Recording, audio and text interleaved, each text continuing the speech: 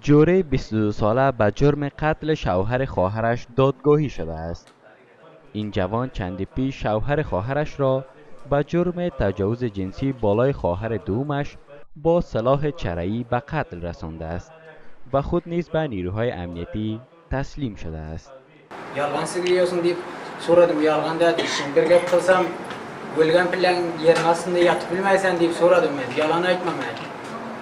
Yalan aytsam ben bunu şırakımı öldürsem yerin aslında nime cevap veremez. Layık diye çın dedim. اکنون دادگاه استناف ولایت بلخ این جوان را به جرم قتل رجب شوهر خواهرش به 12 سال زندان تنفیزی محکوم به جزا نمود. حکم نمودیم که تو جوره ولد سفرگیلدی در قضیه قتل رجب ولد اسمت الله طبق فقره دوی ماده 547 کود جزا با رعایت مواد 213 و 214 کود مذکور از ابتدای ایام نظارت و توقفیت به مدت 12 سال حبس تنفیزی محکوم و مجازات شدی.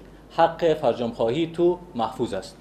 دادگاه استناف ولایت بلخ می‌گوید حق فرجام خواهی متهم محفوظ است.